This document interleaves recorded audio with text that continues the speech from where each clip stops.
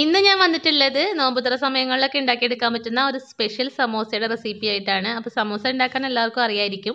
ഈ സമോസ നമ്മൾ ഷവർമയുടെ ടേസ്റ്റുള്ള ഫില്ലിംഗ് വെച്ചിട്ടാണ് ഉണ്ടാക്കിയെടുത്തിട്ടുള്ളത്. നല്ല ടേസ്റ്റാണ് അതുപോലെ തന്നെ നല്ല എളുപ്പമാണ് ഉണ്ടാക്കിയെടുക്കാൻ നമ്മൾ സാധാരണ സമോസ ഉണ്ടാക്കുമ്പോൾ ഫില്ലിംഗ് ഉണ്ടാക്കിയെടുക്കാനുള്ള അത്രയും സമയമൊന്നും വേണ്ട. വളരെ എളുപ്പത്തിൽ ഉണ്ടാക്കിയെടുക്കാം. അപ്പോൾ എങ്ങനെയാണ് ഈ ഷവർമ സമോസ ഉണ്ടാക്കിയെടുത്തിട്ടുള്ളത് നോക്കാം. അപ്പോൾ നമുക്ക് ആദ്യം ഇതിന്റെ ഫില്ലിംഗ് റെഡിയാക്കി എടുക്കാം. അതിന് വേണ്ടിയിട്ട് ഞാനൊരു ഇരുന്നൂറ് ഗ്രാം ചിക്കന്റെ പീസുകൾ എടുത്തിട്ടുണ്ട്. ഇത് ഞാൻ എല്ലില്ലാത്ത പീസാണ് എടുത്തിട്ടുള്ളത്. എല്ലുള്ളതായാലും കുഴപ്പമൊന്നുമില്ല. നമ്മൾ ഫ്രൈ ചെയ്തെടുത്തിട്ട് എല്ലൊക്കെ മാറ്റിയെടുത്താൽ മതി. ഇനി ഇതിലേക്ക് ഒരു അര ടീസ്പൂൺ ഇഞ്ചി വെളുത്തുള്ളി ചതച്ചത് ചേർത്ത് കൊടുത്തിട്ടുണ്ട്. പിന്നെ ഒരു ടീസ്പൂൺ നാരങ്ങാനീര് ചേർത്ത് കൊടുക്കാം. പിന്നെ വേണ്ടത് ഒരു ടീസ്പൂൺ തൈരാണ്. അപ്പോൾ ഈ ഒരു തൈര് അധികം കട്ടിയില്ലാത്ത തൈരാണ് ഞാൻ എടുത്തിട്ടുള്ളത്. നിങ്ങളുടെ കയ്യിൽ നല്ല കട്ടിയുള്ള തൈരുണ്ടെങ്കിൽ അതാണ് നല്ലത്. പിന്നെ വേണ്ടത് ഒരു കാൽ ടീസ്പൂൺ വലിയ ജീരകം പൊടിച്ചെടുത്തതാണ്. പെരിഞ്ജീരകം പൊടിച്ചെടുത്തത്. അപ്പോൾ നിങ്ങളുടെ കയ്യിൽ പൊടിച്ചെടുത്തതില്ലെങ്കിൽ വലിയ ജീരകം ഒന്ന് ചതച്ചെടുത്തിട്ട് ചേർത്ത് കൊടുത്താലും മതി. പിന്നെ ആവശ്യത്തിന് ഉപ്പ് ചേർത്ത് കൊടുക്കാം. ഇനി ഇതിലേക്ക് എരിവിന് ആവശ്യമായിട്ടുള്ള അര ടീസ്പൂൺ മുളക് പൊടി ചേർത്ത് കൊടുക്കുന്നുണ്ട്. പിന്നെ ഒരു കാൽ ടീസ്പൂൺ മഞ്ഞൾപ്പൊടി കൂടി ചേർത്ത് കൊടുക്കുന്നുണ്ട്. അപ്പോൾ നിങ്ങൾക്ക് വേണമെങ്കിൽ മുളക് പൊടിക്ക് പകരമായിട്ട് കുരുമുളക് പൊടി ചേർത്ത് കൊടുക്കാം. ഇനി ഇതെല്ലാം കൂടി നന്നായിട്ടൊന്ന് മിക്സ് ചെയ്തതിന് ശേഷം ഒരു പതിനഞ്ച് മിനിറ്റ് ഇതൊന്ന് മാറ്റി വെക്കണം. അപ്പോൾ ഇതിലുള്ള മസാലയൊക്കെ ഈ ചിക്കൻ പീസിലൊക്കെ നന്നായിട്ട് പിടിക്കാനായിട്ട്. അപ്പോൾ കുറച്ചധികം നേരം വെച്ചാലും കുഴപ്പമൊന്നുമില്ല. ഞാനിപ്പോൾ ഒരു പതിനഞ്ച് മിനിറ്റിന് ശേഷം ഇത് എടുത്തിട്ടുണ്ട്. ഇനി ഇത് നമുക്ക് ഫ്രൈ ചെയ്തെടുക്കാം.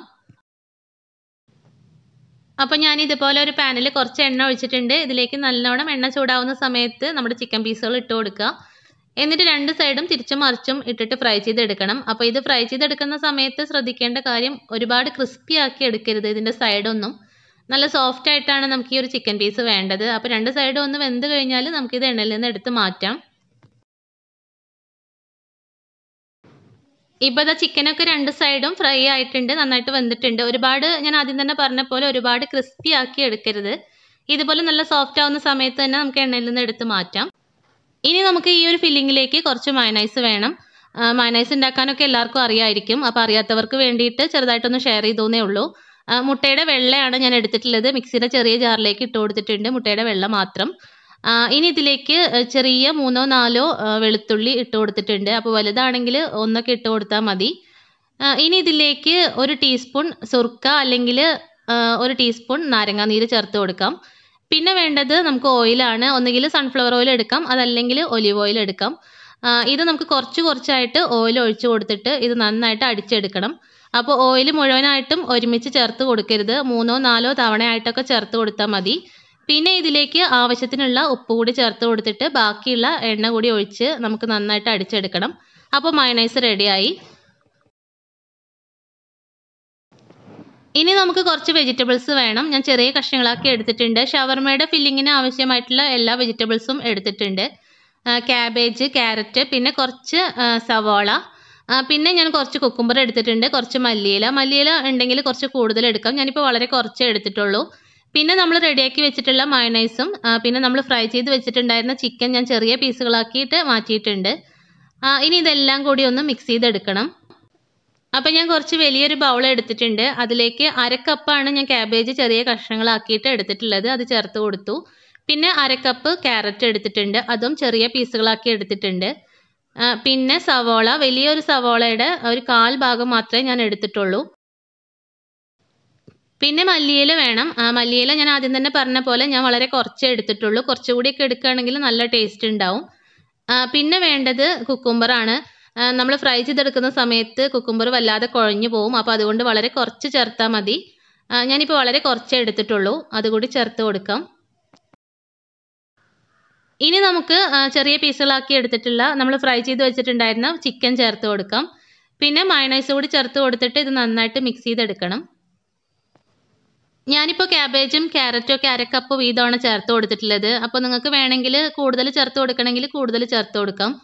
അതല്ലെങ്കിൽ ഇത്രയും വെജിറ്റബിൾസ് വേണ്ടാന്നുണ്ടെങ്കിൽ ഇതിന്റെ പകുതിയൊക്കെ ചേർത്ത് കൊടുത്താൽ മതി.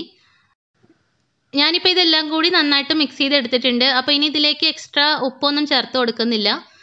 നമ്മൾ ചേർത്ത് കൊടുത്തിട്ടുള്ള മയണൈസിലും അതുപോലെ തന്നെ ഫ്രൈ ചെയ്തെടുത്തിട്ടുള്ള ചിക്കനിലൊക്കെ ഉപ്പുണ്ട്. അപ്പോൾ അത്രയും മതി. പിന്നെ വേണമെന്നുണ്ടെങ്കിൽ നോക്കിയിട്ട് ഒരു നുള്ളുപ്പ് ചേർത്ത് കൊടുക്കാം. ഞാനിപ്പോൾ ഇതിലേക്ക് പിന്നെ ഉപ്പൊന്നും ചേർത്ത് കൊടുത്തിട്ടില്ല. ഇനി നമുക്ക് സമോസ റെഡിയാക്കാം അപ്പോൾ നമുക്ക് സമോസ ഒന്ന് ഒട്ടിച്ചെടുക്കാനായിട്ട് ഇതുപോലെ കുറച്ച് മൈദ ഒന്ന് മിക്സ് ചെയ്തെടുക്കണം. ഒരു ടേബിൾ സ്പൂൺ മൈദ ഒരു ടേബിൾ സ്പൂൺ തന്നെ വെള്ളം ചേർത്തിട്ട് ഒന്ന് മിക്സ് ചെയ്തെടുത്തതാണ്. ഇനി നമുക്ക് ഇതുപോലെ സമോസ ഷീറ്റ് ഒരു സൈഡിൽ നിന്നൊന്നും കോൺ ഷേപ്പിൽ മടക്കി കൊടുക്കണം. അപ്പോൾ ഇതുപോലെ കോൺ ഷേപ്പിൽ കിട്ടും. ഇനി ഇതിലേക്ക് നമ്മൾ ഫില്ലിങ് വെച്ച് കൊടുക്കണം. പിന്നെ ഫില്ലിങ് വെച്ച് കൊടുക്കുന്ന സമയത്ത് ഒരുപാട് വെച്ച് കൊടുക്കരുത്. ഒരു ടേബിൾ സ്പൂണൊക്കെ ഫില്ലിങ് മതി. ഇനി ഇത് നല്ലോണം ഒന്ന് പ്രസ് ചെയ്ത് ഉള്ളിലേക്ക് ആക്കി കൊടുത്തിട്ട് നമുക്ക് മുകൾ ഭാഗത്ത് നിന്ന് ഒന്നുകൂടി മടക്കി കൊടുക്കണം.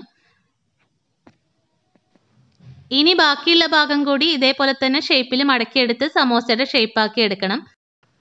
ഇനി ഇതിന്റെ അറ്റത്ത് കുറച്ച് മൈദയുടെ പേസ്റ്റ് ഒന്ന് ആക്കി കൊടുത്തിട്ട് ഒന്ന് ഒട്ടിച്ചെടുത്താൽ മതി. അപ്പോൾ നമ്മുടെ ഫില്ലിംഗ് ഒന്നും പുറത്ത് പോവില്ല എണ്ണയിലേക്ക് ഇട്ട് കൊടുത്താലും. അപ്പോൾ ഇത്രയേ ഉള്ളൂ. നമ്മുടെ സമോസ റെഡി ആയിട്ടുണ്ട്. ഇതേപോലെ തന്നെ നമുക്ക് ബാക്കിയുള്ള സമോസകളൊക്കെ ഫില്ലിംഗ് വെച്ചിട്ട് റെഡിയാക്കി എടുക്കാം. എന്നിട്ട് നമുക്ക് നല്ല ചൂടായ എണ്ണയിലിട്ടിട്ട് ഫ്രൈ ചെയ്തെടുക്കാം. ഞാനിപ്പോൾ ഒരു പാനിൽ എണ്ണ ചൂടാക്കി എടുത്തിട്ടുണ്ട്. ഇതിലേക്ക് സമോസകൾ ഓരോന്നായിട്ട് ഇട്ട് കൊടുക്കാം. എന്നിട്ട് രണ്ട് സൈഡും തിരിച്ചും മറിച്ചൊക്കെ ഇട്ടിട്ട് നല്ല ഗോൾഡൻ ബ്രൗൺ കളർ ആവുന്നത് വരെ ഫ്രൈ ചെയ്തെടുക്കണം. അപ്പോൾ നോമ്പായി കഴിഞ്ഞാൽ മിക്കവാറും ദിവസങ്ങളിൽ സമോസയൊക്കെ ഉണ്ടാക്കും. അപ്പോൾ ഒരേ ഫില്ലിങ് തന്നെ ഉണ്ടാക്കാതെ ഇതുപോലെ ഇടയ്ക്കൊക്കെ ഒന്ന് മാറ്റി ഉണ്ടാക്കി നോക്കുക. വെജിറ്റബിൾസ് കഴിക്കാത്ത കുട്ടികളൊക്കെ ഉണ്ടെങ്കിൽ അവരെ വെജിറ്റബിൾസ് കഴിപ്പിക്കാനൊക്കെ നല്ലൊരു ഐഡിയ ആണ്. നിറയെ വെജിറ്റബിൾസ് ഉണ്ട്. നല്ല ടേസ്റ്റുമാണ് കേട്ടോ കഴിക്കാൻ. നല്ലൊരു ഫ്ലേവറും ആണ്. അപ്പോൾ എല്ലാവരും ട്രൈ ചെയ്ത് നോക്കിയിട്ട് നിങ്ങളുടെ കമൻസ് ഒക്കെ അറിയിക്കണം. ഇതുപോലെ നല്ല ഗോൾഡൻ കളർ ആവുന്ന സമയത്ത് നമുക്ക് ഫ്രൈ ചെയ്ത് എടുത്ത് മാറ്റാം. പിന്നെ വീഡിയോ ഇഷ്ടമാണെന്നുണ്ടെങ്കിൽ ലൈക്ക് ചെയ്യാനും ഷെയർ ചെയ്യാനും സബ്സ്ക്രൈബ് ചെയ്യാനും മറക്കരുത് കേട്ടോ.